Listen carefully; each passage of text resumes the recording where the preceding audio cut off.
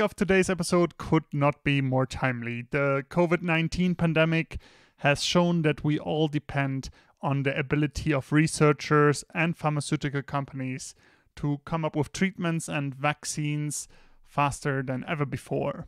And one of the problems is that clinical trials currently are very complex and can cause significant delays. And also that there's actually not that much data available, especially if we remember back to the start of the pandemic. Chris Peng, my guest on today's episode, is the founder and CEO of PhysioQ, a platform that allows researchers to run effective, decentralized clinical trials using wearable technology. It does that by monitoring for some of the most common symptoms of COVID 19 and collecting real time data in the company's NEO platform. The company has so far worked with about 1,000 researchers and helped more than 20,000 families affected by the COVID pandemic. Chris drops some valuable insights into the future of scientific research, and he also shares advice for founders that are looking to set up companies in the health space. And he shares some real nuggets today um, on how to actually sell to a market that's so hard to sell to, like the healthcare uh, market, which has long sales cycles, slowly moving, and strongly regulated organizations. So, this is a real valuable lesson uh, for anybody that's interested in the health space. Chris is such a purebred entrepreneur. He has so many different startups that he has under his belt that he has founded in the past. So, if you're looking for some real experience from a health tech entrepreneur, this is the episode for you. Enjoy today's episode. It's really good to have you on the show, Chris. Hey, great to have good to be on here. Thank you very much. Let's talk about LabFront first. That's the platform helping researchers to manage their trials and also tap into the sensor data and of, of the people participating in the trial so that you can actually leverage people from the comfort of their homes and they can participate in studies. Tell us a bit more about LabFront and why researchers need this new tool. What's the problem it solves for them? Sure. So if you're like me before we started this project, you probably, if, if you're not, not a researcher yourself, you probably don't really know, you know, what goes into research.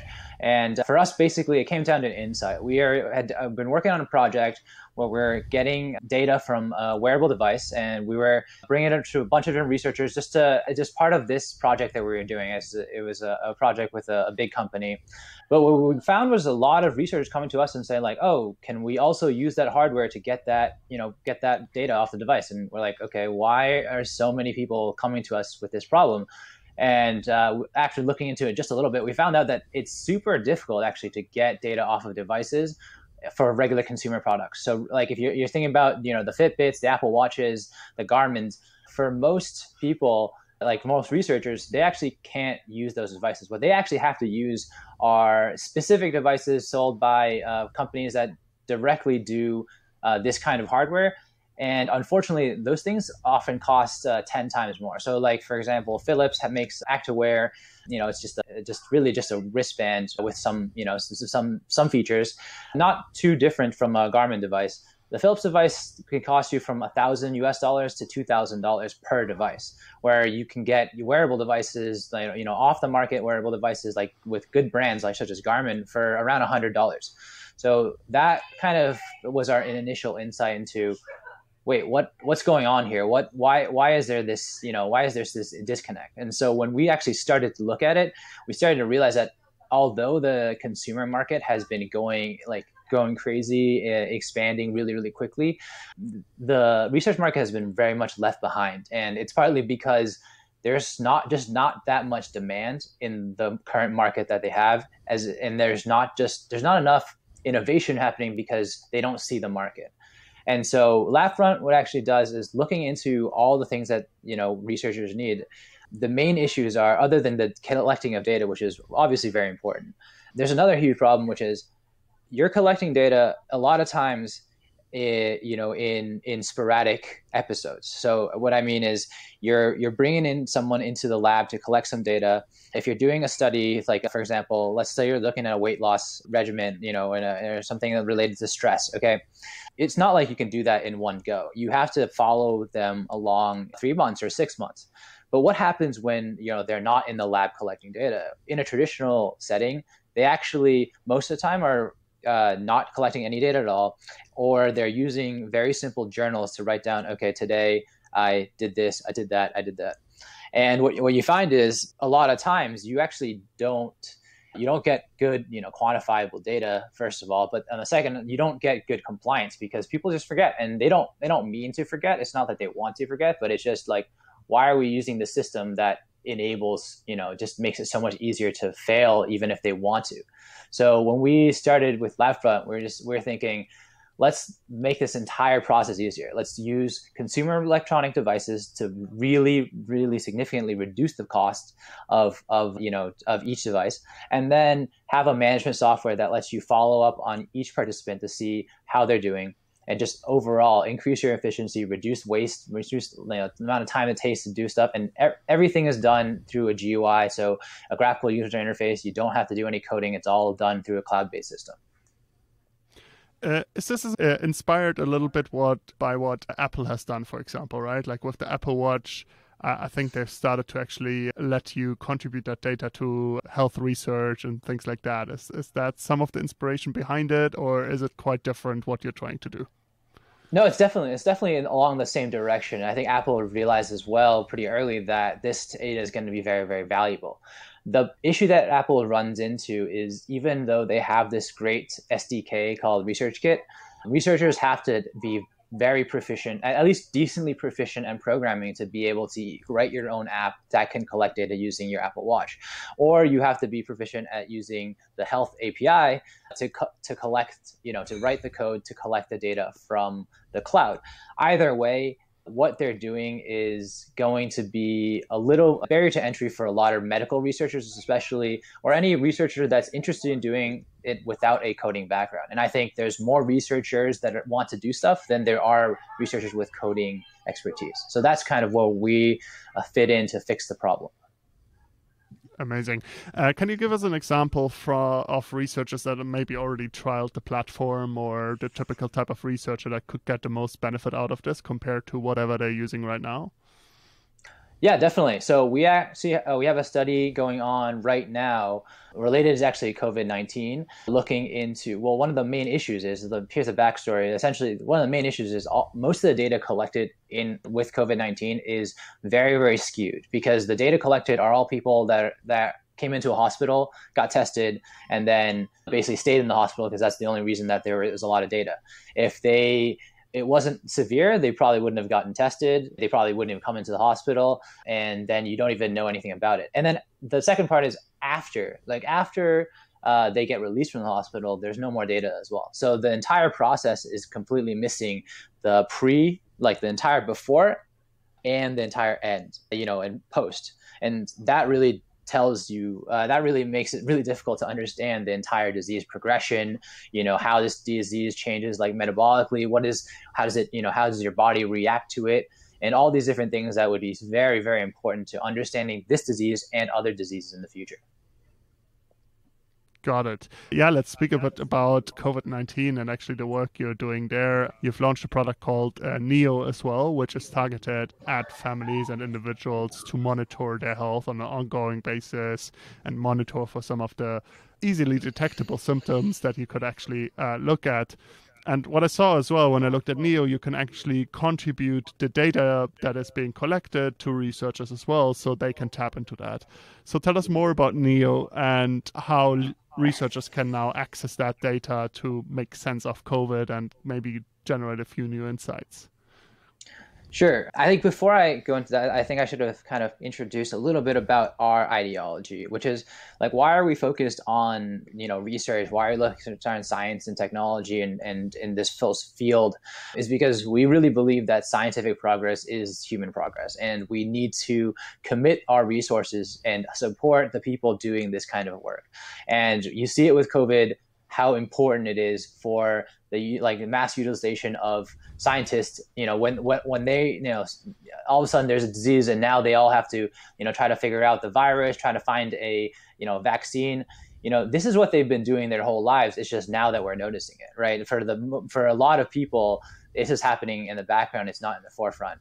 So when covid-19 hit we actually have been developing Labfront for quite a bit of time. We were actually planning to launch Labfront around the time when I was going to be in the U.S. in around I was going to be March, uh, April, and May to help like get some attention and round and, and, and launch the product. But obviously, with COVID, that that I, derailed our entire plan.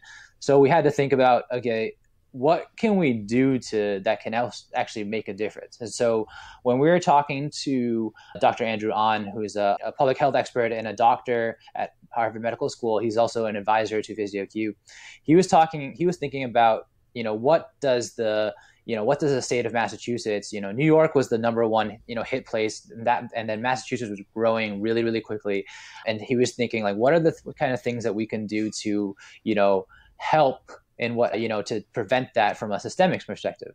And understanding the disease one of the main issues is that 40% according to the who 40% of transmissions are actually occurring before any symptoms. So that means that you know like even if you're using things like temperature checks you don't know that you know you, don't, you like you're not you're going to miss out on you know, almost half of those cases. But if you actually look at the physiological data like changes in the resting heart rate you look at change there are changes in their heart rate variability their oxygen saturation those all things are things that actually can predict or at least i would say predict is the is a, a little bit would be too too a bold word, but they they can have a direct correlation with uh, COVID. And so when we thought about this and being having the access of these this data at our fingertips, we think, well, why can't we do a version of this that is specifically targeted towards families?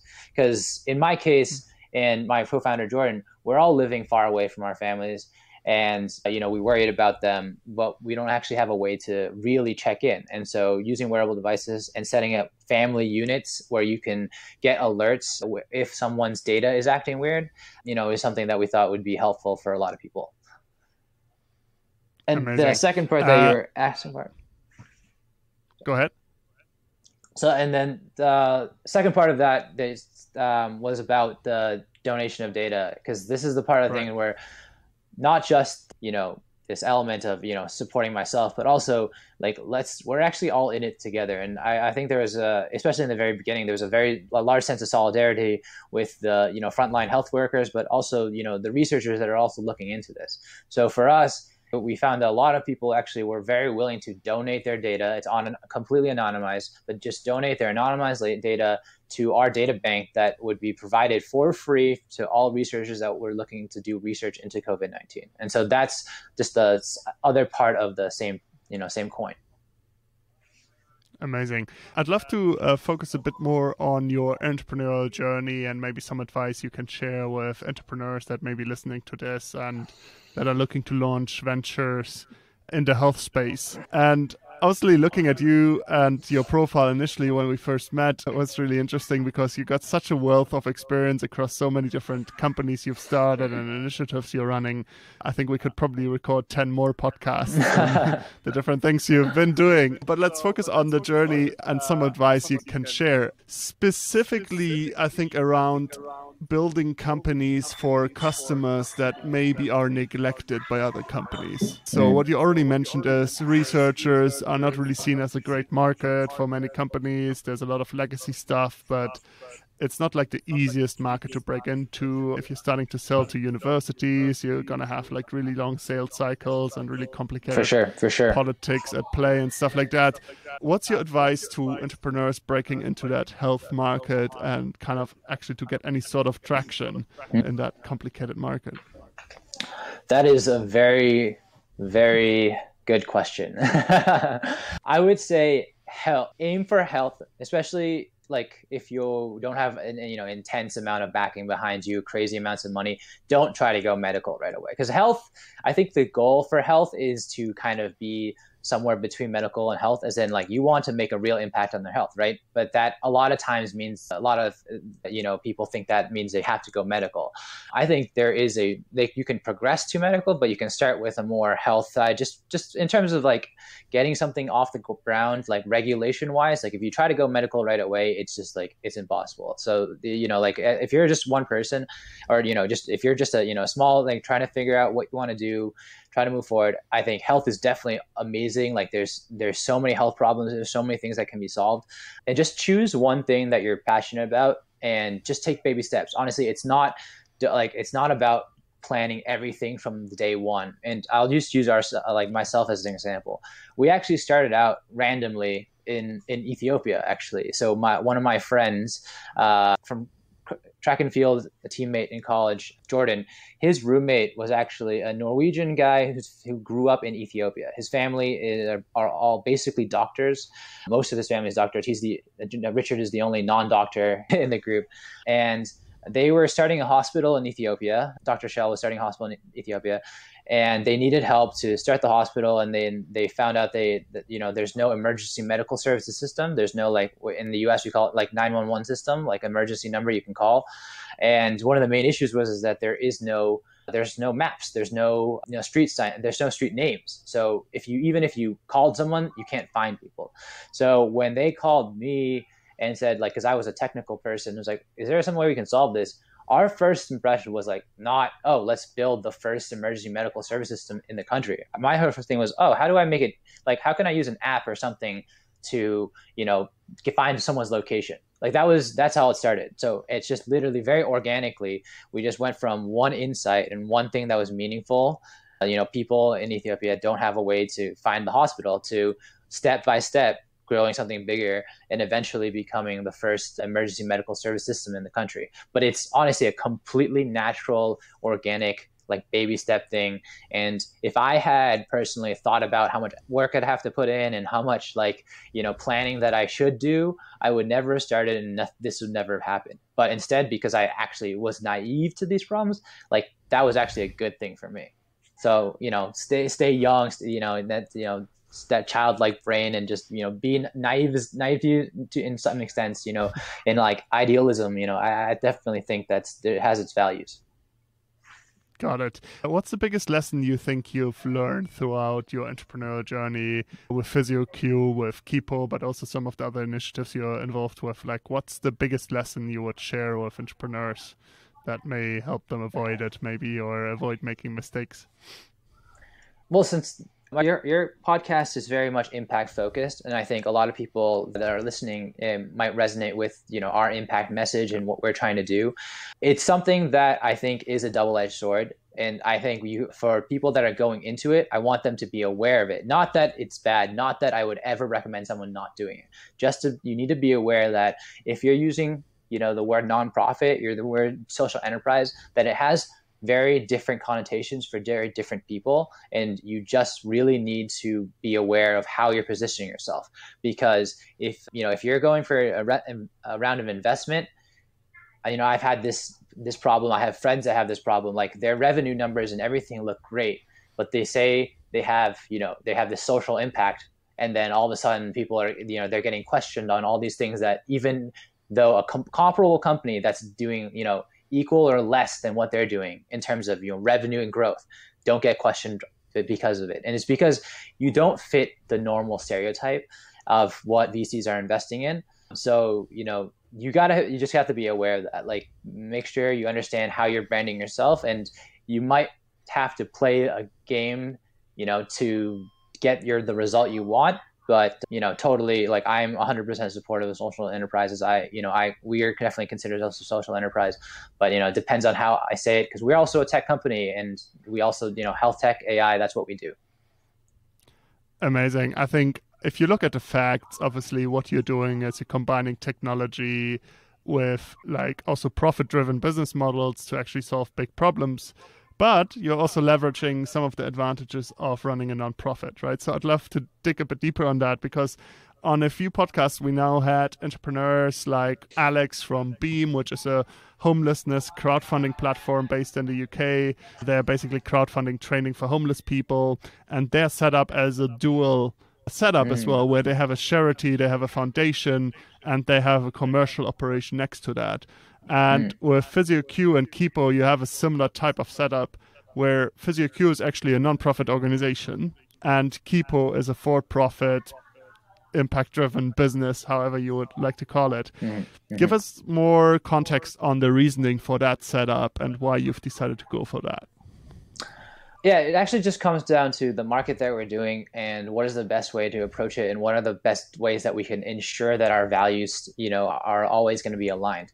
So our whole purpose of creating the LabFront software is to help researchers. Now, if we want to help researchers, one of the main concerns is data privacy and control and access to data.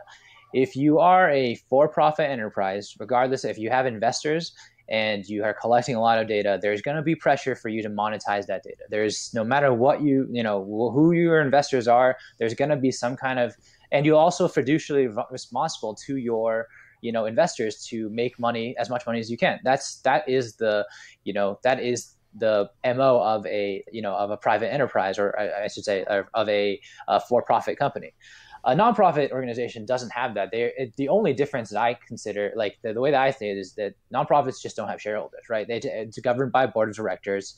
It's you know it's the team that's creating the product, and it doesn't invest you know it doesn't pay out dividends and that's about it you know it's still re you, you know you re, still reinvest all the money that you get into yourself or you can pay it in staff there's like you know there's just there's no stocks that's the that's the only difference and because it's run by a board of directors that is completely mission driven because they have no financial responsibility and there's you know they have no financial incentive to do anything other than what they were put on the board to do so when we set up PhysioQ, it was really important to make data privacy the main aspect. And, you know, we believe that's really important. We also believe that slowly the world is catching on, that you don't want, uh, you know, a Facebook or a Google to control this data and then sell it to the highest bidder. What I would rather want, and this is what we believe, is that researchers are looking at this and like, oh, wow, we can, you know, this this nonprofit organization, they make money by the subscription service and that's all they need to do. And as long as they you know as long as there's people using the service they don't you know there's no reason to grow. There's no responsibility to anything else other than protect my data and provide the best experience and help as many people as we can. So when we set it up we set up the organization keep. We we commit 2 million US dollars to develop this software and help maintain it for you know for the in perpetuity you know just forever. But we weren't going to charge you know the nonprofit organization that money to to to, to build it you know or they don't have the money to do that. So instead what we do is we just we get we license it completely for free and we just get a cut out of every subscriber that they you know that pays for the service we get a percentage of. And in that way no matter what you know if they don't if they aren't able to pay it you know they don't they're not up they're not on the hook for the bill and if they're making money because there there are a lot of people are using it then you know they just share with us some of the money. That's you know it's pretty simple, I think. That's really interesting. I think again, Beam completely different business, but they've done a similar model where the commercial company is running the platform, developing the platform, and mm. they're getting a cut of what's being generated but still the kind of nonprofit is completely focused on making sure that the charitable cause is in at focus, right, rather than anything For else. Sure. So uh, I think that's a great setup to see, and it's also good. I'm sure the listeners of this podcast, most of them really get this, but I think mm-hmm. if you mm-hmm. look at the mainstream a lot of people don't get this. If you set up a nonprofit, it doesn't mean you can't have really good revenue streams coming in. Yeah, and uh, and you can't. You can also pay people very well. Yeah, absolutely. Yeah, I think you should. And I think that's actually one of the things I'm very passionate about. I've been working in the past in fundraising and for charities as well. And I've been involved with a, fundraising agency which pays their people really well as well, but only in mm-hmm. return for actually raising a lot of money. But I've been very passionate about that topic as well. But I, I guess the point is just because you're a nonprofit, you could have like really good governance reasons or reasons to mm-hmm. uh, align your objectives uh, that you just mentioned to set up a nonprofit. But that doesn't mean that you have to now uh, sell cakes, do do bake sales uh, to fund it, you can actually you can actually charge people for the software you're selling, uh, like you do, and generate revenue like that. So I think that's something that still people don't get sometimes, and it's really great to see entrepreneurs like you that have a more innovative approach on this and be like, no, we're we're non-profit for these reasons, but it doesn't mean we like can't charge for your software, for example. So that's really good. Yeah. Yeah, amazing. I mean, you're still charging for uh, the cakes, right? yeah, absolutely. Yeah, you are right. Yeah, yeah. But it's a it's a side activity to generate something rather than focus on adding value to somebody and then taking a cut of that value, which is typically what companies do. Yeah, I mean, I think I, I approach it the same way that I run the company, which is if we are providing a very good value proposition, then you know there's people are willing to pay that money because we're doing something for them that they value. You know, and so it there's no difference. The only thing that is slightly different uh, is just you know how you raise money that's a little that that, that part is definitely very different and so what we've done is our you know for profit and uh, we've invested the money the resources the team you know over a year resources for an entire engineering team to develop this software platform but that's something that i was going to take an investment into this anyways i believe this is the future i believe that this what we're doing is valuable so you know in worst case we just improve everyone's current you know like research protocols. But best case is we reduce the hurdle of entering research. Like it's so difficult to start research because how much money it takes to start a research project, which means you need to get grant funding, which means you need to know how to write grants, which means you need experience. And it's just like this chicken and egg problem where researchers that could be that would love to dabble into it, like do what I did, which is start a tiny little project and then it start grow and grow and grow and it becomes a passion. And now I'm an entrepreneur.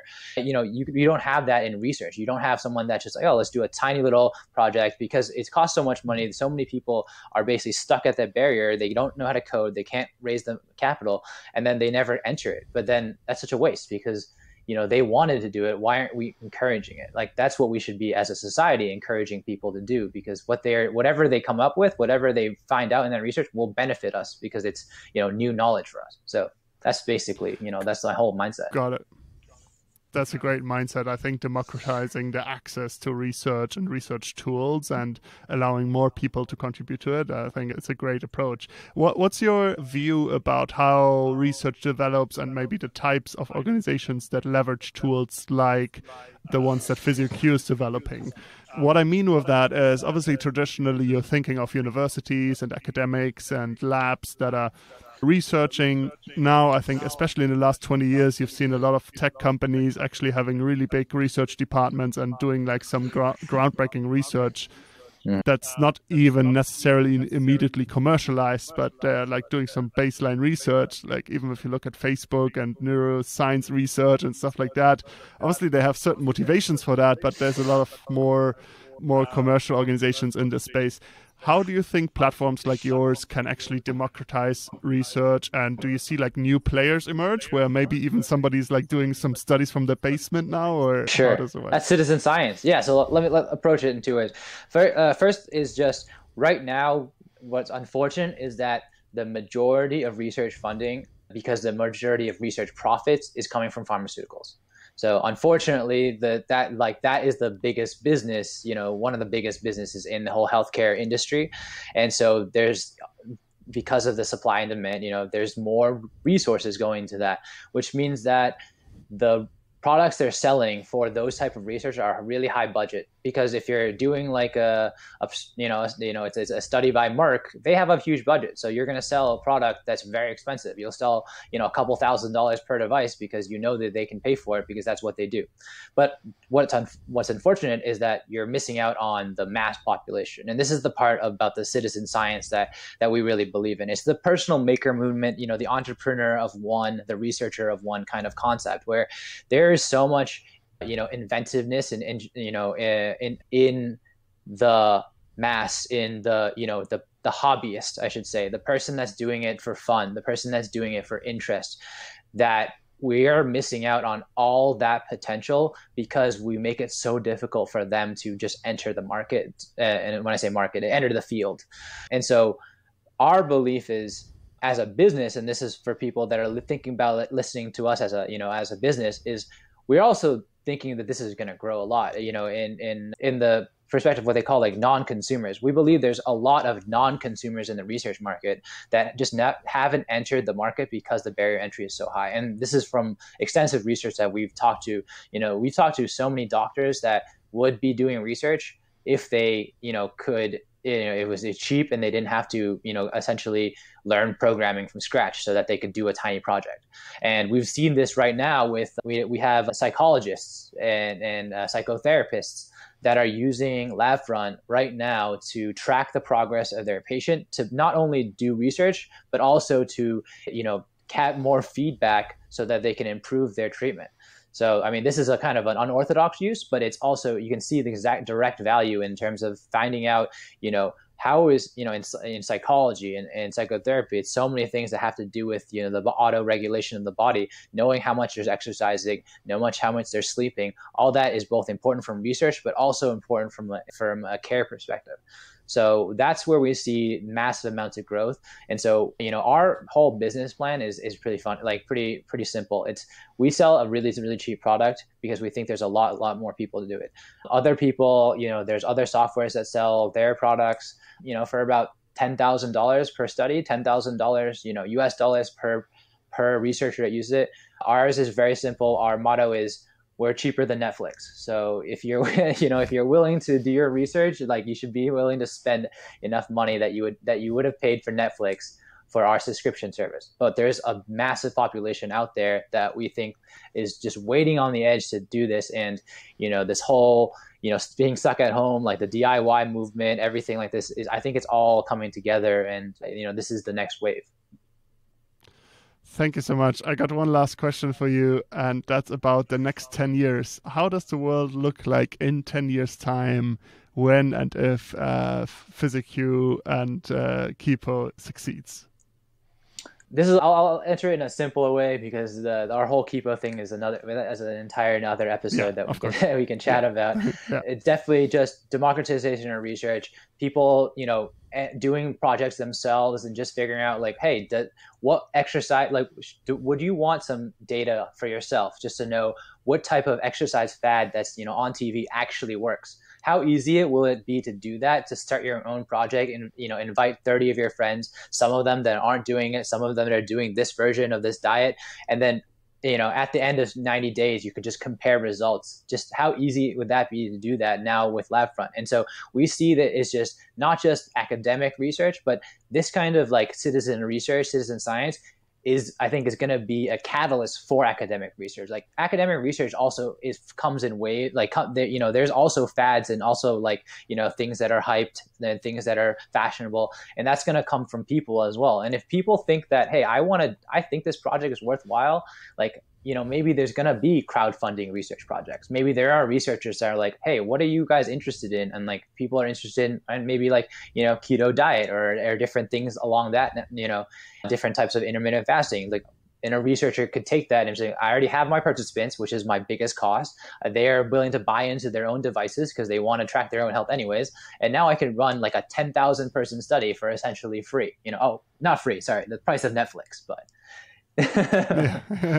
so almost, that's you know almost. 10 years for sure. 10 years that's that's where i you know that's what i hope for from the PhysioQ side is just we're going to be pumping out more new tools. Right now we're focused specifically on data collection but in the future it's going to be on the analytics side as well to make it completely easy for anyone to be able to graph it you know and then you know have our own click and drag and drag and drop tools that you can run any type of analysis you want visualize it you know by you know in like pie graphs or whatever you want to see to see this. And uh, using very very limited very small bits of AI to figure out, hey, maybe this is what you'd be interested in, like self-generated graphs. Amazing. Thank you so much for joining us today. I really enjoyed how you described not just a new piece of software and just another tool, but a, like a whole paradigm shift and how technology and building a tool like LabFront could actually help bring about that paradigm shift where access to research and access to running big trials or big research projects can be heavily democratized. And I think I find it really exciting to think about the possibilities of this and uh, maybe have it as common as a Netflix subscription almost for people to be like, okay, actually, uh, let's do some research yeah. and uh, not just leave it to universities which uh, are often also obviously stuck in like old ways of doing things and having to apply for funds and etc everything you mentioned about traditional research projects. I really enjoyed envisioning the future with you together and learning about labfront and neo and physioq thank you thank you.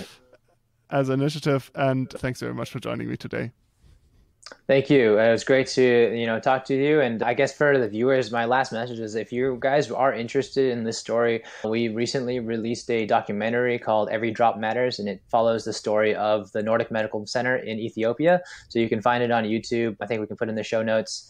Um, so if you're interested in that kind of thing, you know, feel free to take a look and just understand that there are really a lot of good things happening in the world, and we just have to find them and this podcast is a great place to find it. So I really appreciate you hosting and and thanks for this podcast as well.